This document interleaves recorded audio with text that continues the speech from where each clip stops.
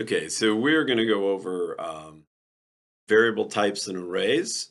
So what I'd like for you to do is to uh, go to Notebook 3, open that up, and while you're doing that, let's talk about what a Python alias is, okay? Because um, this is one of the issues that comes up in Homework 3 that they ask you to use math or something. But the problem is, uh, as you can see in Notebook 3, in the very first initialization code, they say import numpy as np.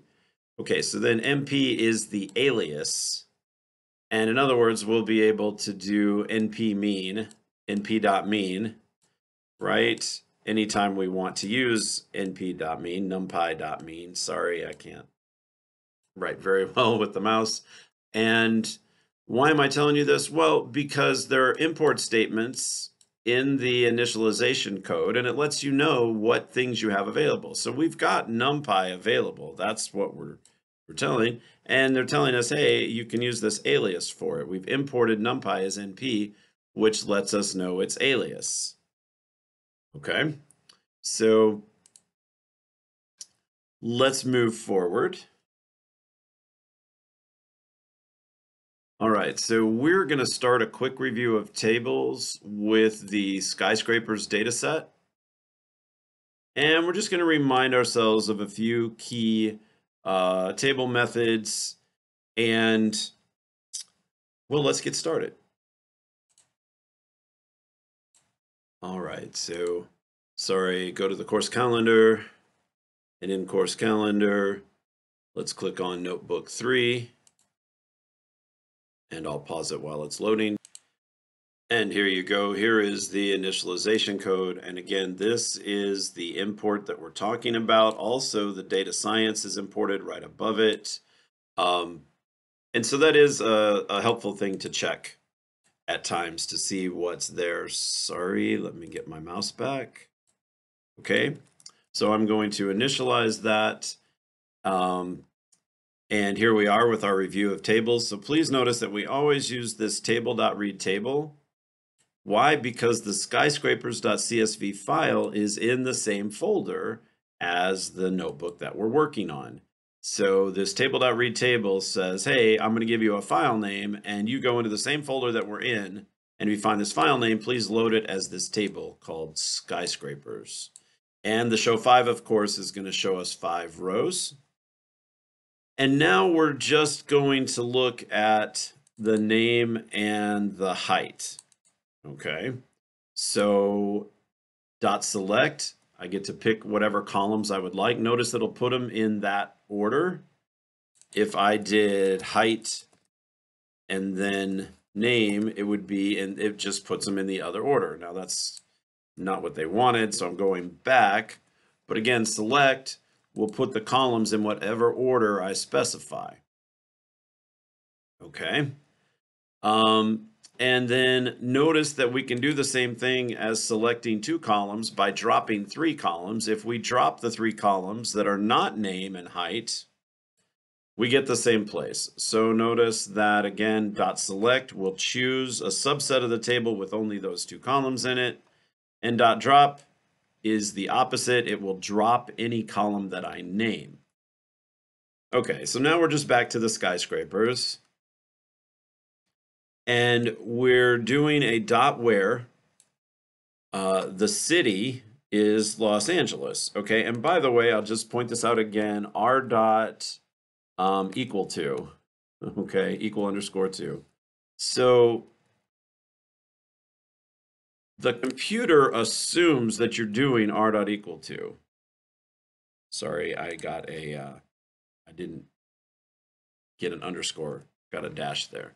This is the exact same thing, the exact same table. And please notice that if I just leave out the r dot equal to, and just say city, comma, Los Angeles, put that in text, put that text in quotes, boom. This is what I get. So uh, just letting you know that the predicate r dot equal to is always assumed. And if I'm using just r dot equal to, where the city is equal to specific text, I can just put the text in and I don't have to explicitly name the predicate. Okay, so that's that's a little help um, to using dot where, and we're doing the exact same thing. Dot where the name is equal to r dot equal to Empire State Building. Boom. Now they're going back to where the city is New York City. Uh, we've seen this one before and sort based on completed. So that's going to put the earliest completed skyscrapers um, first. And this, if we want to see the most recent skyscrapers, if we want the years to be sorted from most recent to um, most the oldest buildings, the newest buildings to the oldest buildings, remember we do the sort with a comma descending equals true. And here it shows us the most recently completed um, skyscrapers in New York City. Here are the Chicago skyscrapers. Again, where city, comma, and you don't have to put the r dot equal to, just put where city, comma, Chicago. Okay, and you can see them. We do have 26 rows omitted, so there are 36 skyscrapers in Chicago.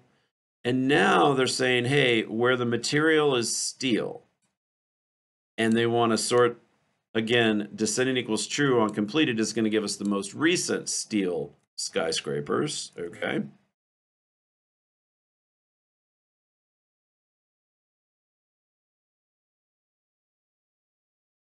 Sorry, it says that Chicago is not uh, defined, which means I probably didn't.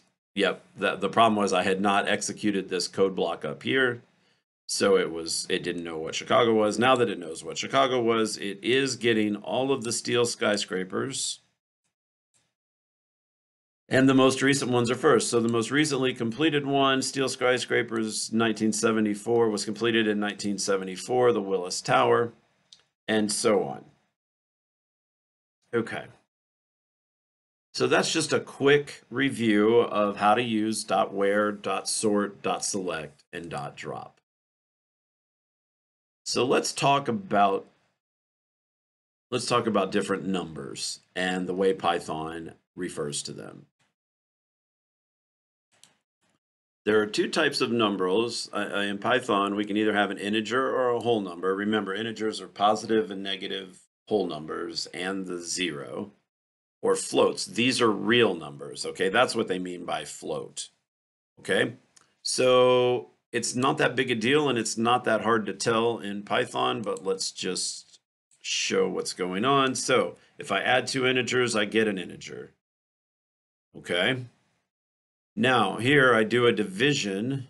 Sorry, let me get rid of that stray red mark. Okay.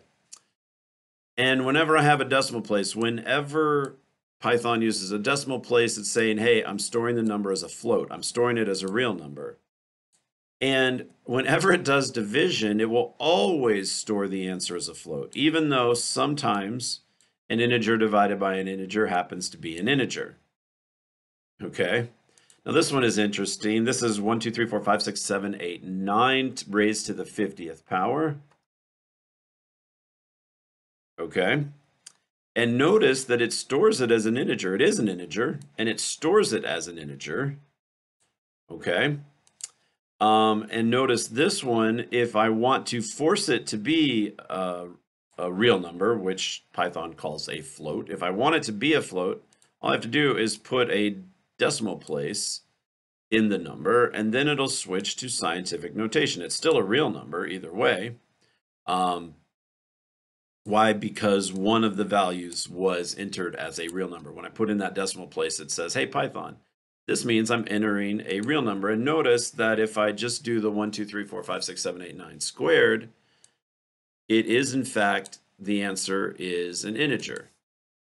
And of course, 4 divided by 700 is a real number, is a float, as is 4 divided by whatever that is, 700 billion or whatever that number is. Oh wait, times 10 to the 18th. I don't even want to think about that. Um, but I think it's something like quadrillion, but oh well. Um, now, what's going on here? This is weird. It rounds this number. Why? Well, the computer has a certain amount of space for a number, and this number in green above has just exceeded that. Okay. So when I hit enter and put it into the computer, the computer saves all of it that it can. Notice it doesn't round it properly. That's a nine there. So this should actually round up. Oh, wait, it does round. I'm sorry. It does. It's rounding here. Six, seven, eight. It rounds the seven up to an eight and it stops here. Okay. Is that a big deal? No. But notice this. I take this number and then subtract the one below it here, and it comes out as zero. Why? Because it stored the larger number as this shorter decimal. Why? It just didn't have room. And so it thinks the answer here is zero. What's important about this? The importance of this is that when I subtract two nearly equal numbers, the computer can get it wrong due to rounding error and uh, again, because it can't store the whole decimal. Okay. 10 raised to the 1 half power, this is the square root of 10. Okay, it is a float, a real number. Okay, the square root of the square root of 16 is in fact 4. But notice that when I'm doing a square root and the 0.05, I, it does put the answer as a float, as a real number even though we all know that 4 is an integer. Okay, and now look at this, the square root of 10 squared. And notice it has this little thing over here. Now the square root of 10 squared, mathematically, we know is just 10, just the integer 10. Again, this is going back up to the one up here. And again, when two numbers are very, or when a number is very, very close to zero, um, I, I end up losing some decimal place accuracy. And this is the rounding error that happens. The computer does the square root and stores as many digits and decimal places as it can. And then it tries to square it, multiplies those two things together, and it doesn't come out to exactly 10 as we know it should. Just letting you guys know that. 30 divided by 10, notice that the answer is stored as a float, as a real number. Watch this though if I say integer int of this expression, right? So it's the same exact expression as this one up here. So the answer is going to be 3. But if I put this int function in, right, then the answer is 3. Sorry, 3.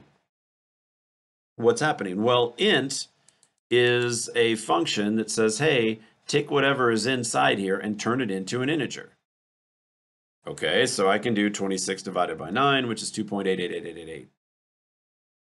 And if I do the integer of that, oh, notice that it didn't round correctly, right? If I round that properly, that should have rounded up to 3. So int is a really good function, and it will take a number like this and turn it into an integer, but what does it do? It just truncates. It just chops off at the decimal place and gets rid of everything to the right and leaves me with two. So it is not rounded properly if I use int. That's all that we're trying to get across there, okay? Um, float three, okay, so three is an integer, but if I do float three, it becomes a, it stores it as a real number. You can see it because there's the decimal place there. Six divided by four is a real number, so it's a float. Six divided by 4,000 is also a real number. And notice this is funny because despite the fact that we have a big ugly number, well, actually, this is a small and ugly number, right? Because it's times 10 to the negative 56. So this is very, very close to zero. But then I multiply it by 1 times um, the same number, basically. Um, then sorry. I multiply this by this. That's what we have. And what happens? Well, because we put, um, well, the answer is six. We're undoing it.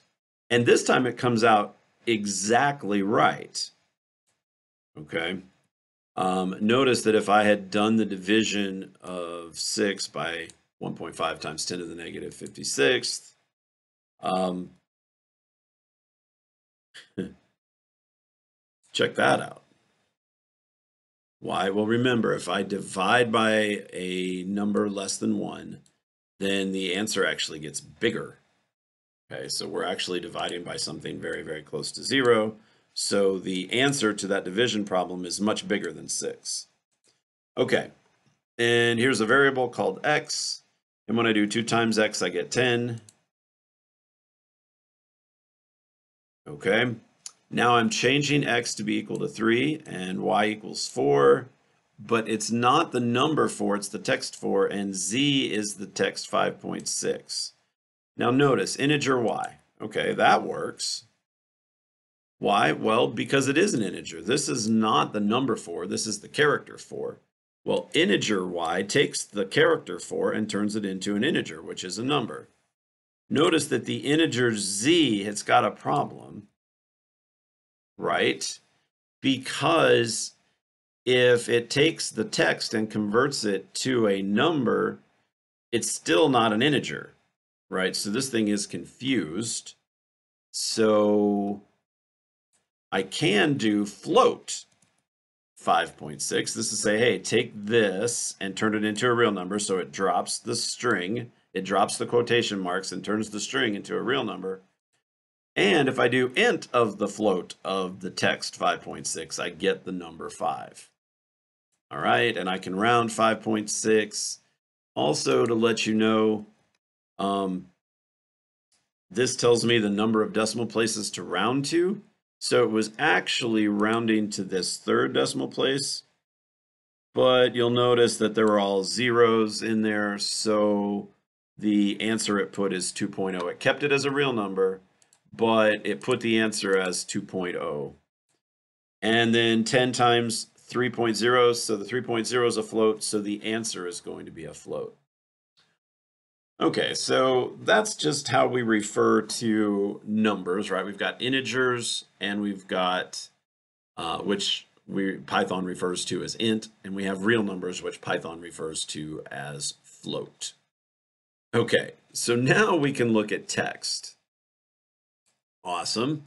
Um, they have a slightly different version of 99 bottles of whatever is on the wall, but okay, 99 bottles of root beer. Okay. And that's going to be our string for the moment. Okay. And sorry, let me get the cursor back. Now, 99 is still text. This is not the number 99. This is the character 9 and then a 9. Baby Yoda is a string. Notice this. It is almost doesn't matter whether I use single quotes or double quotes. Why do I am I allowed to use both? Well, what if there is a quotation mark? See, here's a contraction inside this that's going to use a single quote between the N and the T. But if I use double quotes for my string, it gets the whole thing. If I try to use single quotes, it gets confused, right? So let me, you don't have to do this. I'm just showing if this were single quotes, then it freaks out because it thinks that the string is only from Baby Yoda isn't, you know, it doesn't have, I mean, it thinks of that as an apostrophe T. Okay, but when I use the double quotes, it works correctly, it works properly, and there you go. Same thing if I need to get a quotation inside my string, I can use the single quotes. Then the double quotes will show up as a string. Okay, baby Yoda isn't Yoda. This is kind of funny. I can add two words, and straw plus berry is strawberry. It's called concatenation.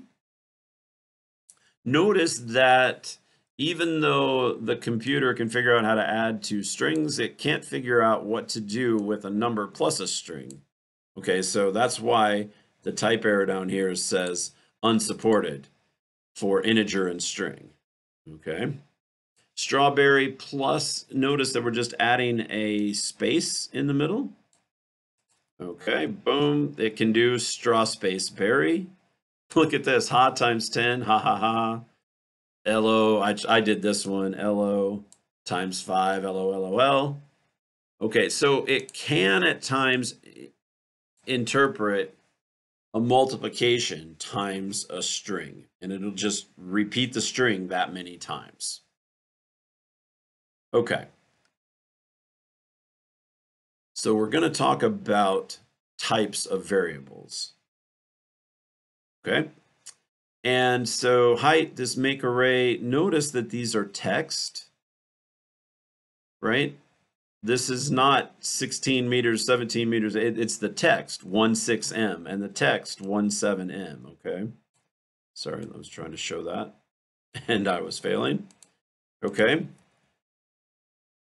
And height item two, remember item two is here. Why? Because item zero is going to be 16 meters. You can see that. Just put in the zero. Oops, sorry.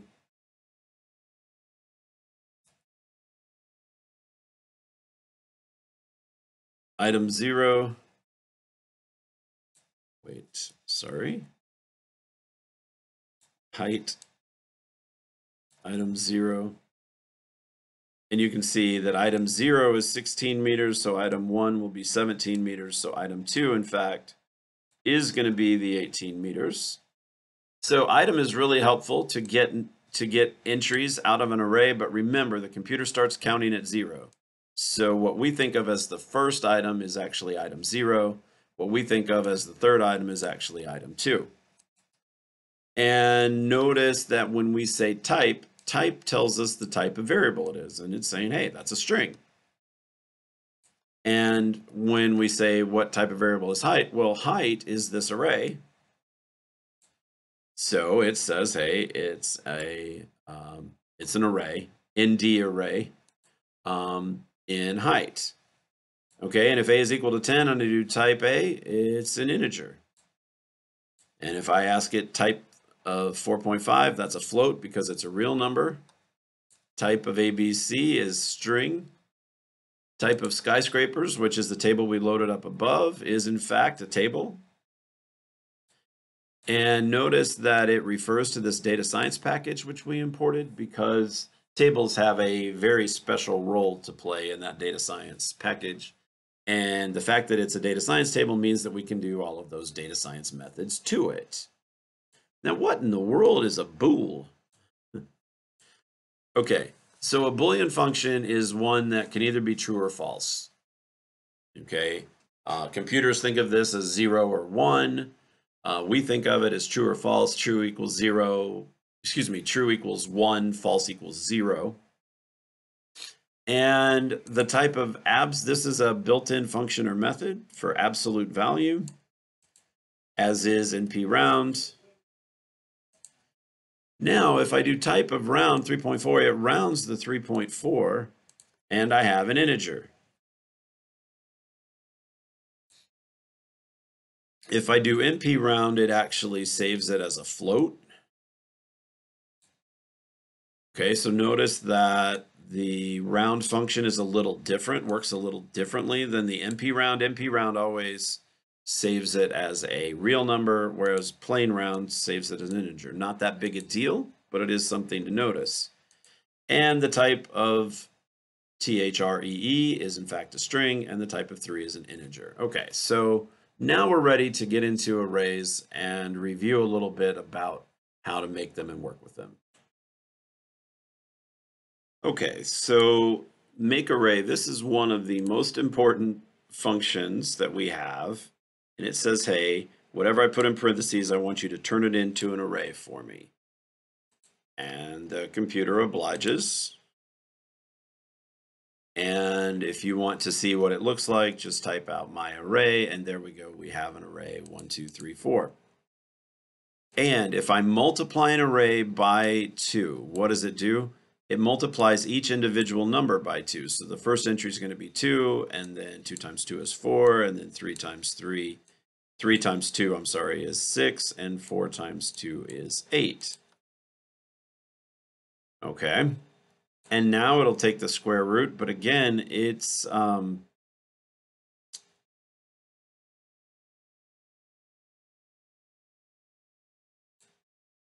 it's taking the square root of of this, right?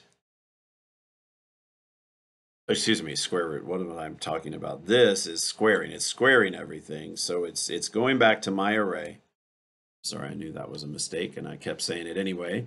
And then 2 squared is 4, and 3 squared is 9, and 4 squared is 16. That's what we've got going on here. My array plus 1. Well, remember, we're back to my array. What does it to plus 1 do? It just adds 1 to each entry in my array. And this point is that I haven't changed my array yet. Okay, so they're saying, hey, what about if I make another array? Same thing, make array with these four numbers. And then my array plus another, okay. It's just added 1 to 60 and 2 to 70 and 3 to 80 and so on. Yet another. Okay, so what about my array plus yet another? What's the problem? Well, my array had four entries. Yet another only has three right? And there, and it's it's saying, wait, wait, wait. I've got an array with length four and an array with length three, and I can't do this operation with it. I can't take, um, I can't add element to element. So that's why it's throwing an array. So functions on arrays. So one of the big reasons that we choose to use arrays is because Python can do math on them. So length of my array, like we said, it, there were three things in my array and I can use the sum. And it adds up the 1, the 2, the 3, and the 4. So 1 plus 2 is 3, plus 3 is 6, plus 4 is 10. So it is, in fact, giving us the sum of my array. And if I take the sum of my array divided by the length of my array, I actually have the average. Okay. Um, sorry, so there it is. There's the sum of my array divided by the length of my array, which is the formula for finding the average. But why is average not working? Well, it's not defined, but that's why we have NumPy. And NumPy was imported with this alias NP, so boom. And sorry, that was the uh, that was the the the code right below it. And then another, we have this make array, same another as before. And then remember the length of yet another. This was the one that threw the error code earlier, and it is only three things. Now, tuna is going to be an array of text where we have bluefin, albacore, and Jim. Okay, and it's fine with that, but it can't sum the tunas. Why? Well, because it's text. It doesn't really know what to do necessarily to add the text. Okay. And again, make array one more time. And this is why I said that it's so important that we can do math on arrays because the columns of tables are arrays and there are a lot of times where we can't do the math on the table that we want to do. So we're going to the San Francisco skyscrapers. How we're using dot where city is San Francisco. So this SF table is just all of the skyscrapers in San Francisco. And if I want to do something with the height, right, then I have to do sf.select height. But these aren't an array. There's I can't do anything on this. But this is where the dot column method comes in, and this is important. So what does dot column do? Instead of pulling the table, excuse me, pulling uh, one column of the table into a smaller table like select does, dot column actually creates an array. And so now the numbers are pulled out where I can actually do some math on it. So now that I have the heights as a column, right, I can get this, this array feet, and I just take the SF dot column height and multiply by 3.28. So it's going to convert all of these meters up here in the height array into feet. Okay, then it's going to create a new table.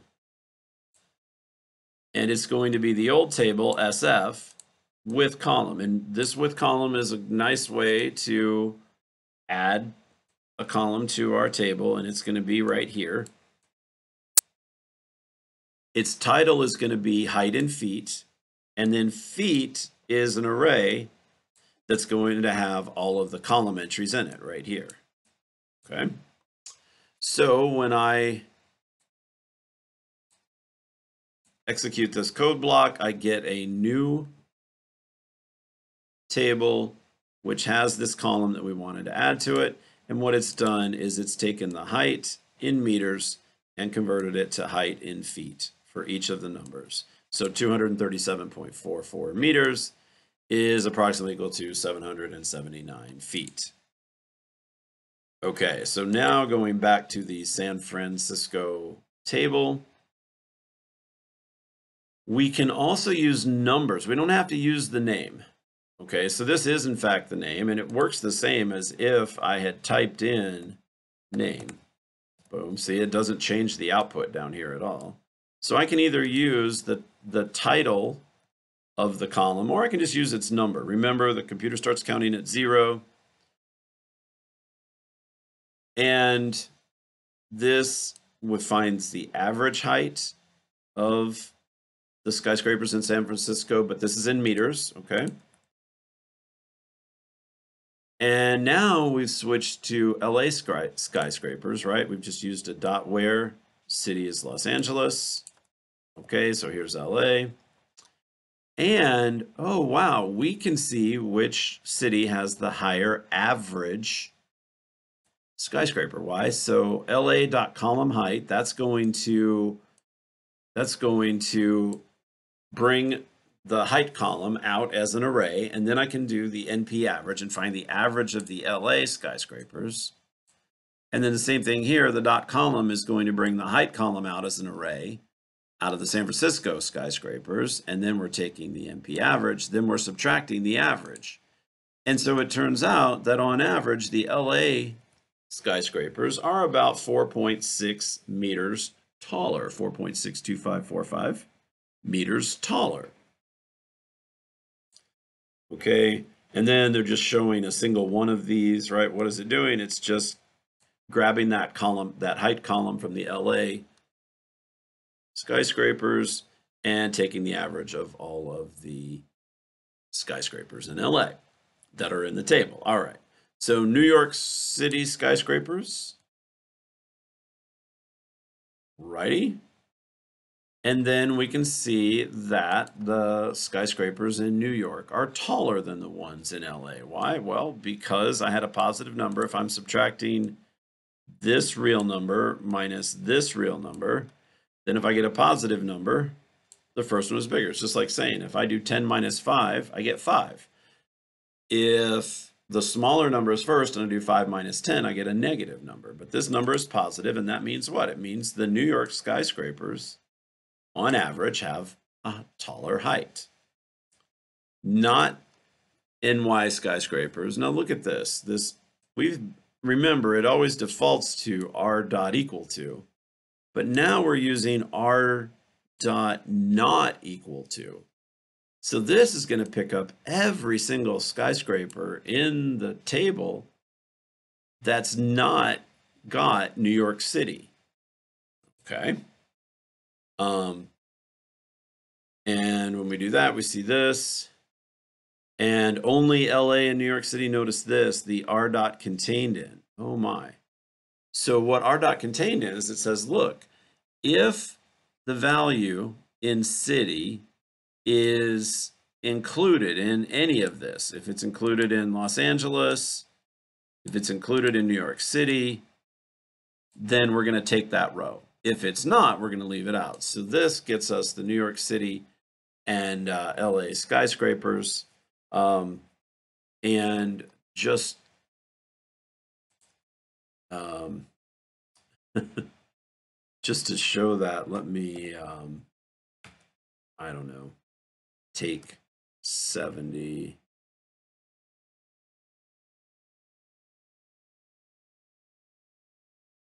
That one's still in New York. I was looking for one that would be in LA so I could show you that. There they are. Okay, so there are LA um, skyscrapers in here. So anyway, let me just get rid of that. I was just trying to take a certain row so we could see, um, because right now all we can see is the New York City skyscrapers. But the LA skyscrapers are in there. And then where the city are not contained in, this is going to be everything but LA and New York. And you can see we have Chicago and Vegas and Atlanta. Okay. And ny.column 3, its length is 73. What does this mean? It just means that there are 73 skyscrapers in New York. And another way to get at this is I can say the table name dot num rows, and both of them give me the same thing. Notice that that's for New York. In Chicago, there's only 36 skyscrapers. Okay. Okay, so we've pretty much gone over all of this. There are some important array, excuse me, some important mathematics that we want to do, but these are only going to work on arrays, right? So that's why we make arrays, or since the column of tables are array, we use the dot column method to pull it down into an array, and then we can find its length or round it or find the max or min or take the sum, take the average. So again, please remember that we need to extract the data that's in a column into an array and we use the dot column method to do that.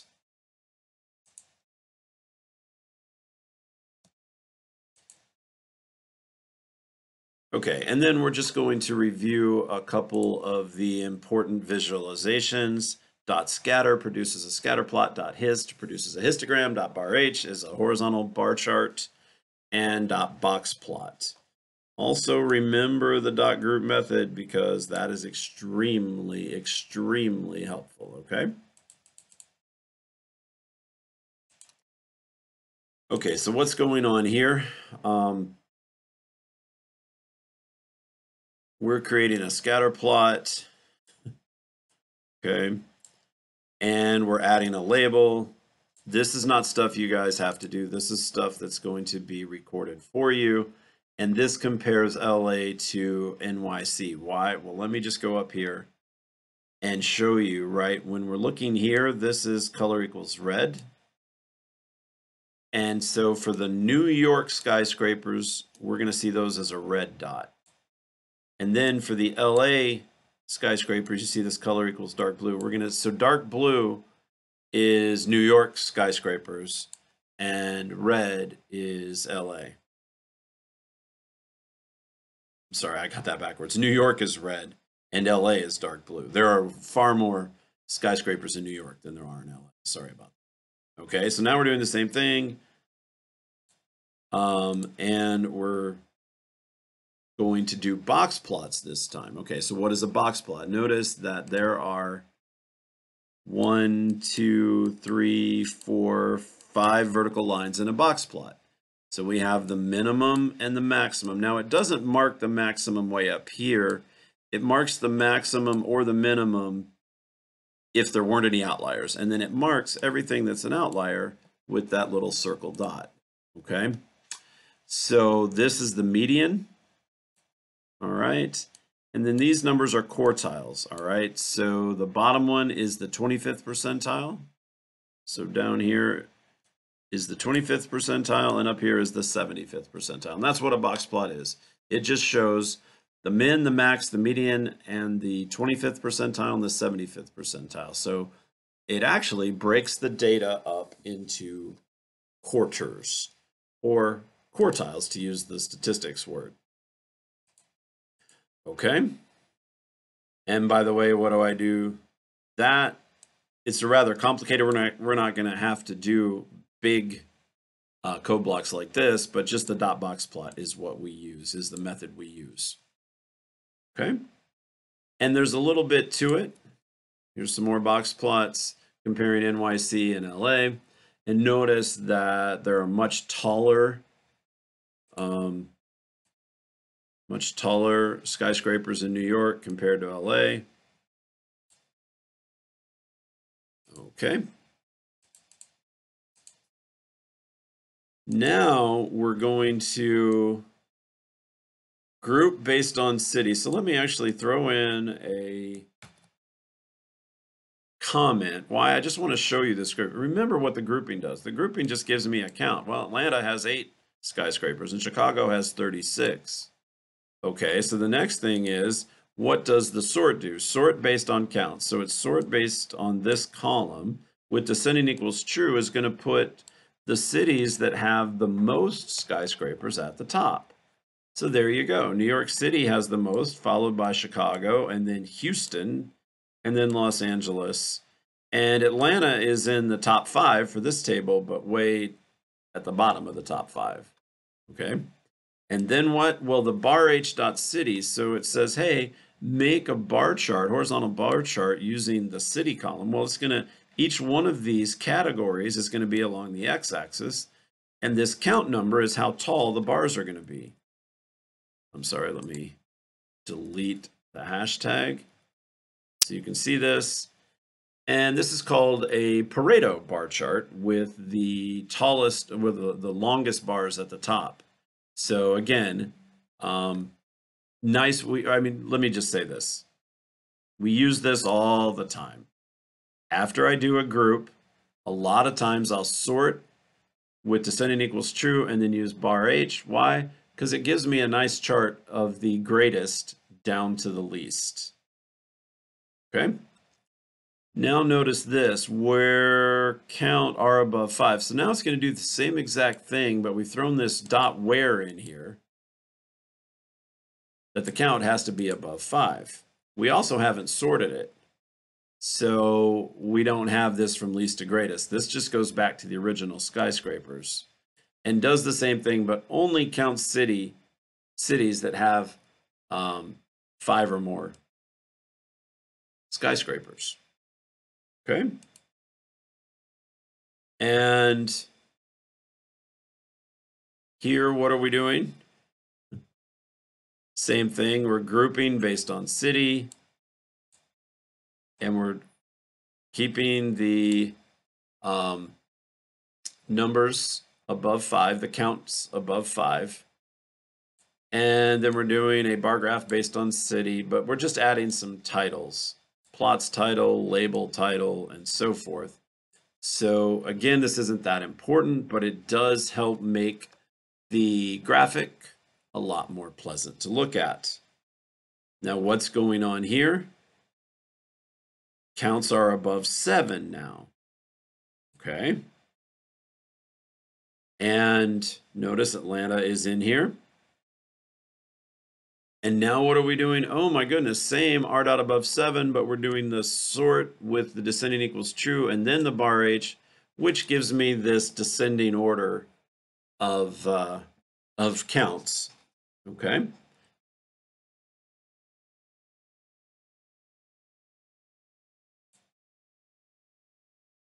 And this one, look what the sort is. It's the sort based on city instead of count. So it puts Atlanta at the top because now it's sorting city alphabetically.